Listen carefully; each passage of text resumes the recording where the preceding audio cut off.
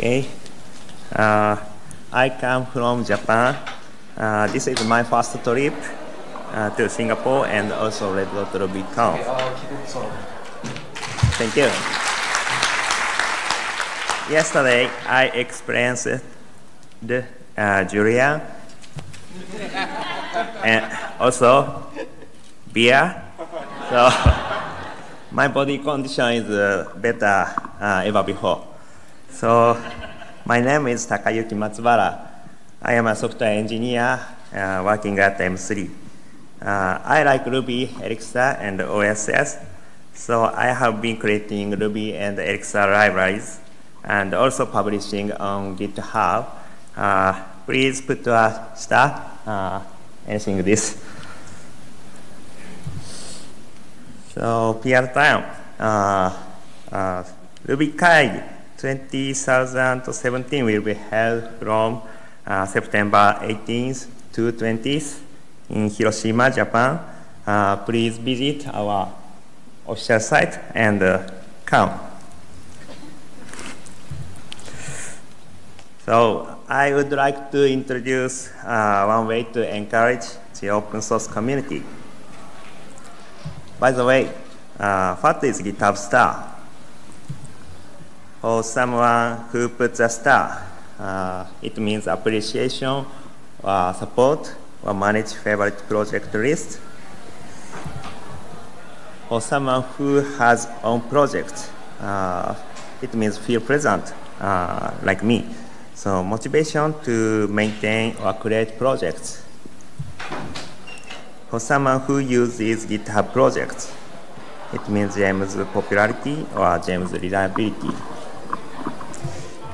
Raising the abstraction a little, the total number of GitHub stars represents, represents the activity of the OSS community.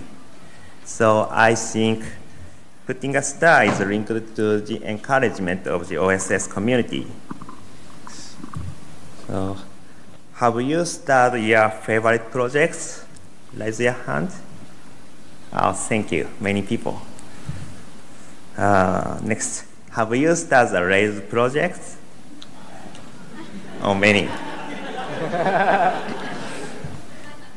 okay, next, have you started the mail gem that Rails uh, action mailer depends on? Oh, sure. The, the last, last question. Have you started the MIME types gem that the mail gem depends on? Oh, it's nice. Oh, wow. Friends. Usually we do not acknowledge gems, but useful gems that we use sometimes depend on other gems. So there is a gap. This picture shows that total downloads is almost the same, but stars are not the same. So these gems are used as much as our Rails.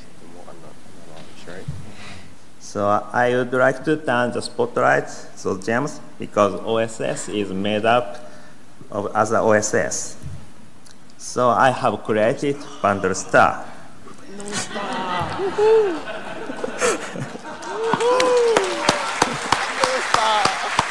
okay. Uh, what does Bundle Star do? Bundle Star puts a star on GitHub projects that your project depends on when you execute the bundle install command. So how to use bundle star? Uh, let's give it a try if you're okay.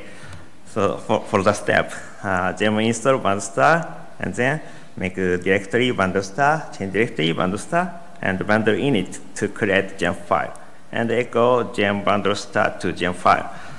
Uh, so bundle star is a tiny wrapper of the bundle command. Command line arguments are passed to original bundle command.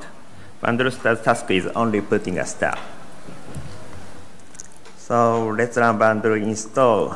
Uh, bundle star tries to find the GitHub ID and token from the netrc file located in a system's home directory.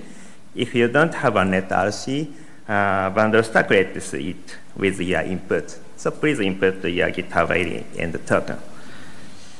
So if everything runs smoothly, you can see something like this.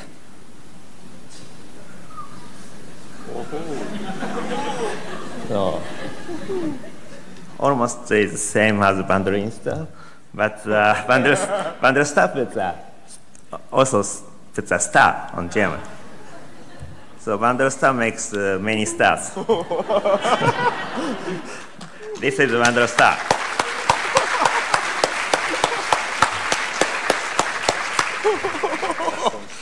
Now we can encourage the OSS community with Bundle Star. Yeah.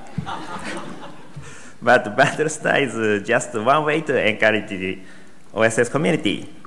The really important point is that we notice various OSS projects and uh, try to know more about them.